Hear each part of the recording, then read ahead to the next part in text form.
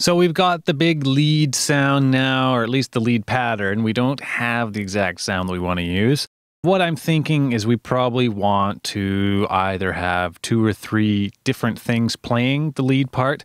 In the past, a lot of people would do um, frequency splitting. They'd have a very uh, sonically dense sound, and then they'd split it up in three different parts, and they'd affect the middle and the high parts, and they'd mono the low end. And, and we're going to kind of do the same thing, except we're going to layer this because this sound is going to be playing very, very loudly, we don't want to have too many other things going on because if you have a lot of things going on, nothing sounds loud. But the sparser your track is, the louder the sounds that are in that track sound.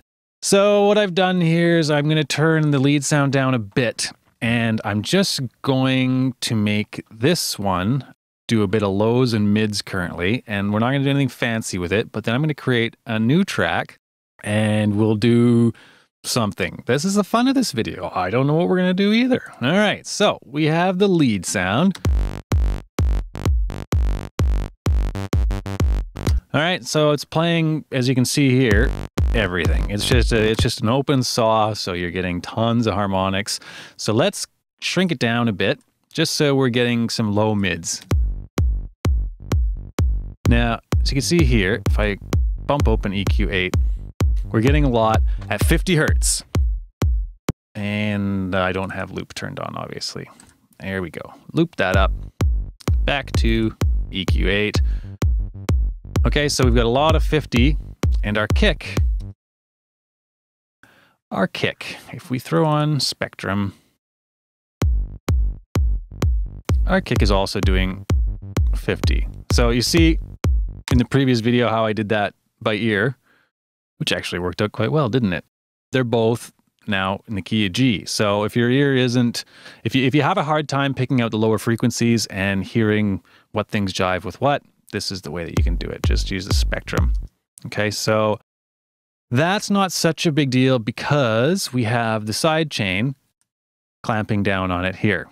So if we didn't have the side chain, they were both playing at 50 hertz at the same time, then you're going to end up with a lot of mud. So the side chain is kind of helping us cheat the mud in that respect. So I'm not going to muck too much with the key. We'll leave it at a G for now. I'll EQ out a bit.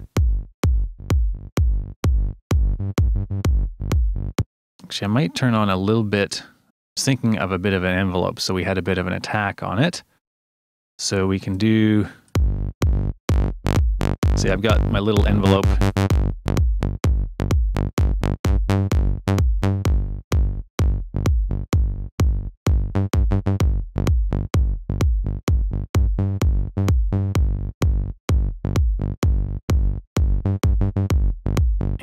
switch this filter.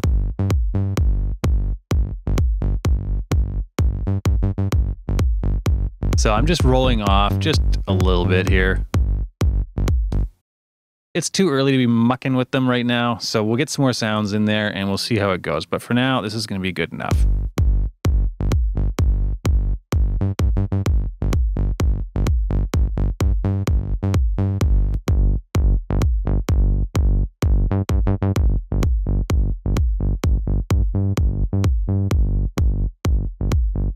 There we go. All right. So I could do this in racks. I'm not going to, though. What I'm going to do, just to make things easier for everybody to see, is I'm going to do this using different channels. So you can do it in racks if you want. But again, for ease of uh, everybody being able to see that, yes, there's three different parts playing it instead of me having to click in and show racks and whatnot, we're just going to do it different tracks. So uh, it'll get a little bit hectic up here, but uh, I think in the long run, it'll work out. Now, we need to decide if we're going to use a synth or a sample to do this. And since we've already done a synthy bit, why don't we use a sample?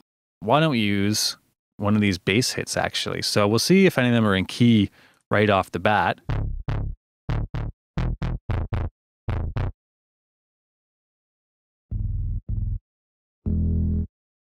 pitch up my keyboard here.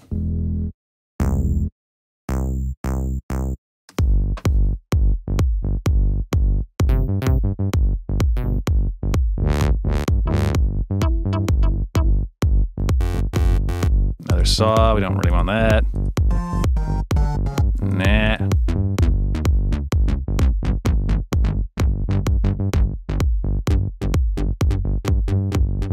Okay, so that one sounds all right. It's, it adds a bit of attack onto it, which is nice. So let's, uh, what I'm gonna do is I'm just gonna grab this out of here. I'll drag it into our new MIDI clip.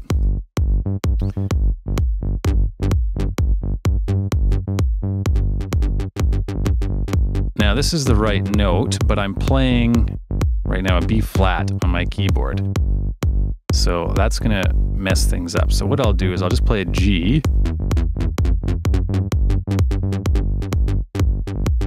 and then uh, adjust the transpose here. So now when I play a G on the keyboard, it's actually a G. it's just, just, a little bit off, isn't it? All right, so let's tune it. Let's do some fine tuning.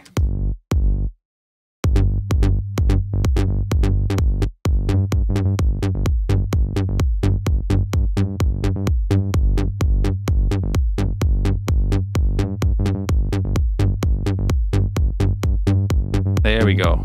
And no, I'm not going to leave it in that offbeat thing. So we can go like this and we can set the lead sound to be the in. So this is playing exact same MIDI. But of course, it's way too low. So we'll go here and we will use the MIDI effect pitch. And since this is just a single sound, I can go ungroup. There we go. We can pitch that up 24, two octaves.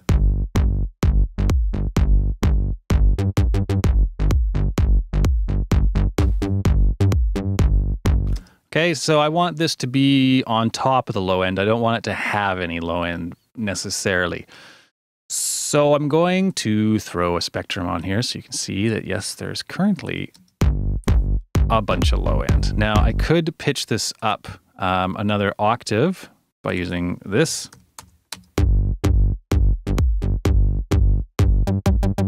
But it sounds kind of flaky once it hits that upper note. So I think I'm going to leave this at the same octave we had it at. And I'm just going to cut the low end. So for that, I'll use old EQ8 and I'll move the spectrum in front of it so we can see what's going on. And I'll use the steep high cut. And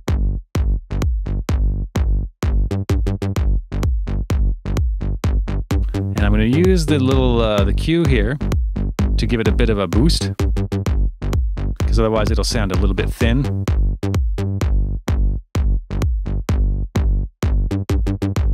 But not too much because this um, this area around here is where you can get really really muddy later on. So uh, we may come back and adjust this. Now, since we don't have a whole lot of low stuff in here, we can do some fun effects. We could add a little bit of reverb on it or we could also add a bit of delay. I'm going to try the delay um, simply, again, because of uh, the mud thing. I want this part here to, uh, to kick in really, really tough. So I don't want anything clogging it up. We may end up putting reverb on something else. But for now, filter delay and turn those up just a little bit. I've got the, uh, the left and right muted and I've only got a left and a right on.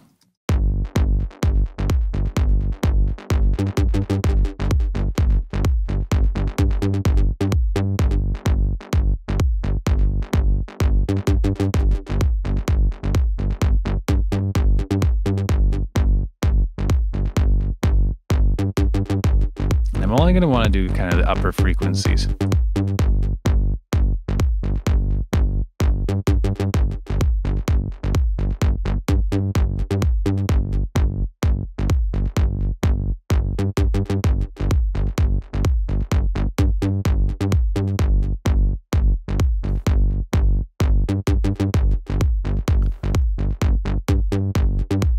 Okay, so that's the lead attack. We'll name this lead attack.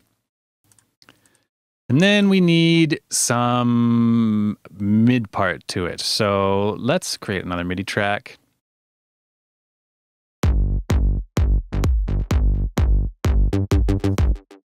I don't know about that delay. We'll see how it goes. So let's create a new MIDI track. And for this one, what should we use? How about operator? Okay, so we'll do operator and we'll do the same thing where it's going to be coming in from the lead. So we'll say yes, get your MIDI from the lead, monitor to in. There's some fat sub for you. Operator's got to be one of my favorite, favorite synths for bass. Let's do the pitch thing again. So we can, uh, we could use the transpose here, but uh, I like to have the pitch plug on just to remind me that, yes, I've pitched it up. Put the pitch on, 24.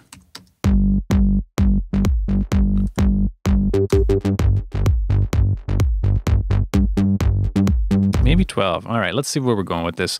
Now, what I want is uh, kind of a wide, a wide-ish sound.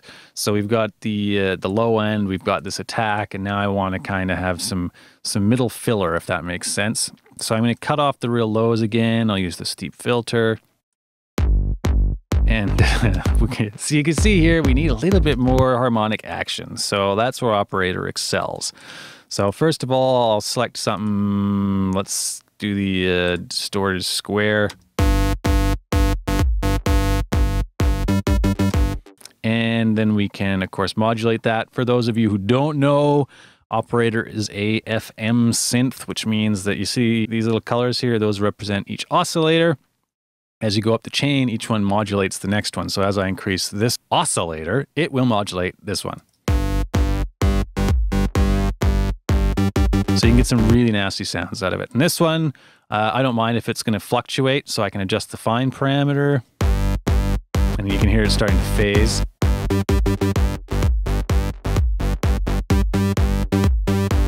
And I can adjust the spread.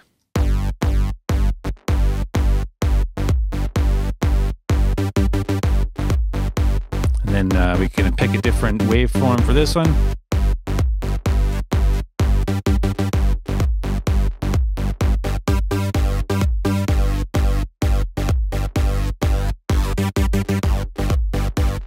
Might do is I might change the routing here. So I'll have uh, just two and two. So you can see the square here. So uh, this B modulates A and then out, and now D modulates C and then out.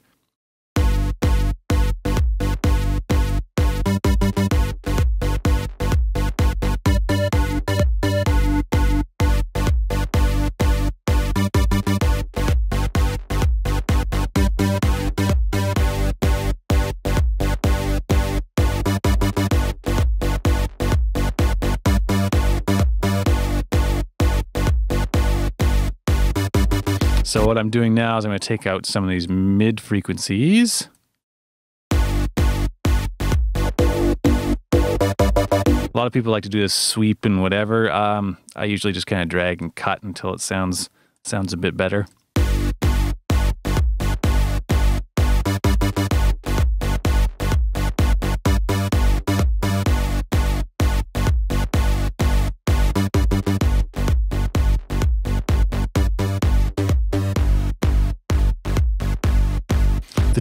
Tone, uh, we could go for a darker or a lighter tone.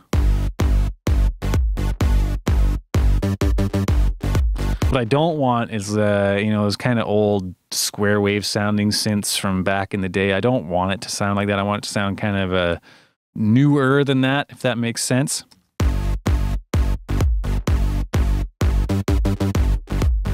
Which means a little bit glitchier. And I won't put the filter on yet. What I want to do is maybe a bit more uh, mangling. So we could put an audio effect on it. Um, we could try, we could try a little bit of reverb just to give it some more width.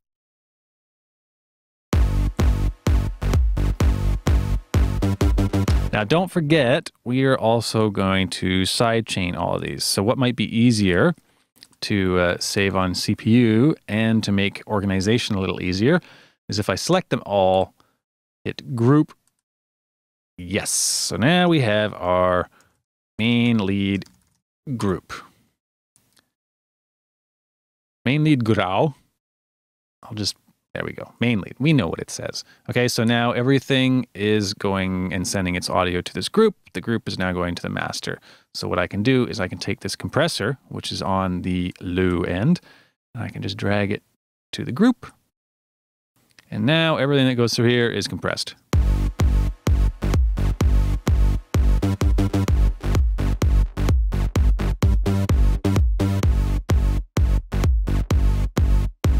So what I'm going to do is I'm going to use the reverb for generation of very, very, very small reverb times, which can make some really cool sounding effects, or it totally backfires and sounds horrible. So let's hope for the former.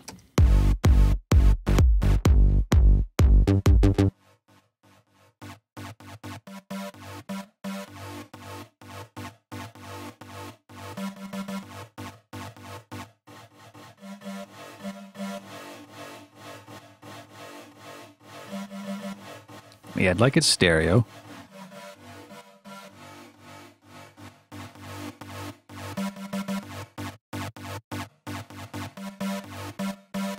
Okay, and then we'll throw a saturator on after that just to kind of bring everything up even more.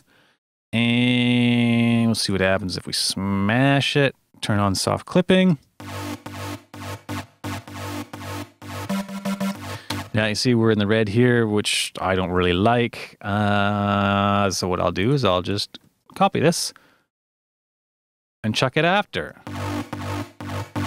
Oh, it's gritty. It's gritty. Now let's hear what it sounds like.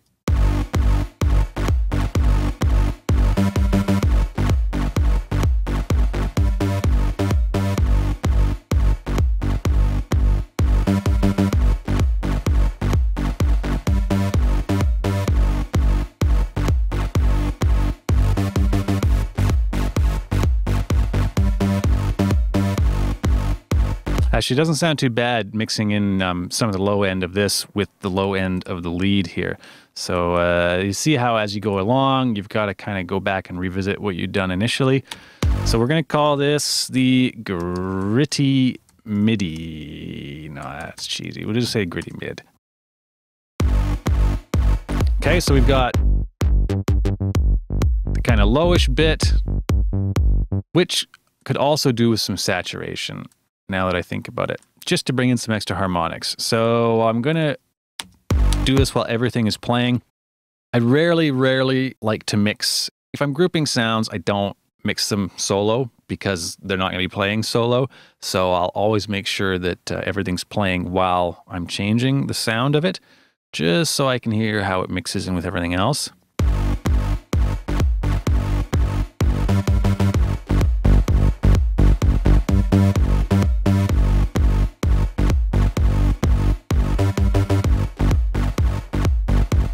And uh, I'm watching the meter here, and you can see that I'm outputting more than is coming in, which means it sounds louder, which of course means it sounds better. But you want to A-B everything, as I've harped on about a billion times in my other videos, you always want to A-B at the same volume because uh, you don't want to trick yourself into thinking it sounds better when it actually doesn't.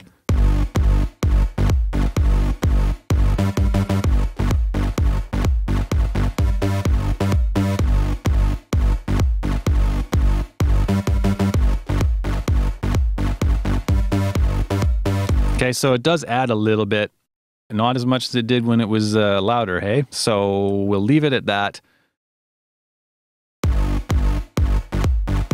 I'll maybe take a bit, scoop some of the mids out of this one as well.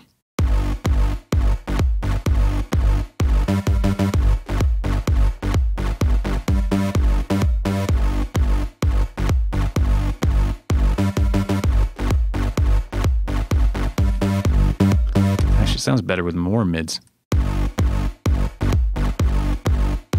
Then you lose the kick. It's always the fine line, isn't it? In the low end, trying to get the kick in the bass. I don't know if anyone has ever said, oh, yeah, I find it easy to mix my low end.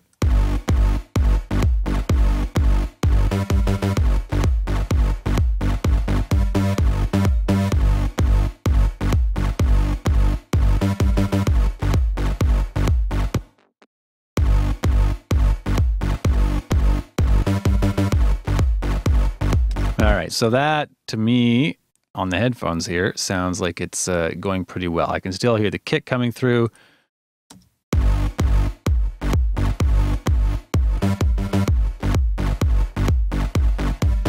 Just the side chain a bit more.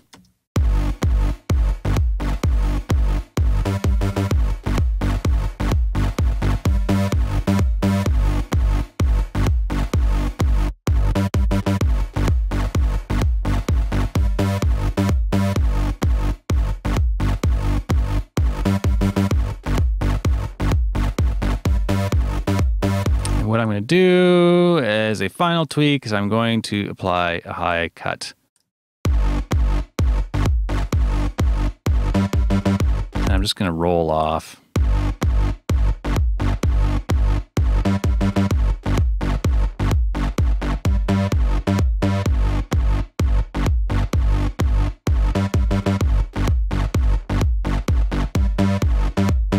There we go. Okay, now one of the most important things you can do is Command S. So I'm going to save the project where we're at now and continue in the next video.